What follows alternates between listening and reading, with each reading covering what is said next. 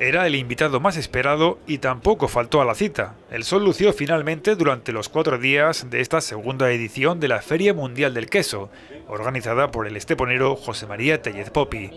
Han sido cuatro jornadas en las que los asistentes han tenido la oportunidad de catar y comprar una gran variedad de productos. No solo queso, sin duda el gran protagonista del evento. En los 40 puestos instalados, productores y distribuidores de todo el país han mostrado sus mejores vinos, aceites, patés o frutos secos. Un lugar destacado en esta feria del queso lo han ocupado los comerciantes de Estepona, con productos de calidad de la zona y que tienen como principal distintivo sus recetas tradicionales.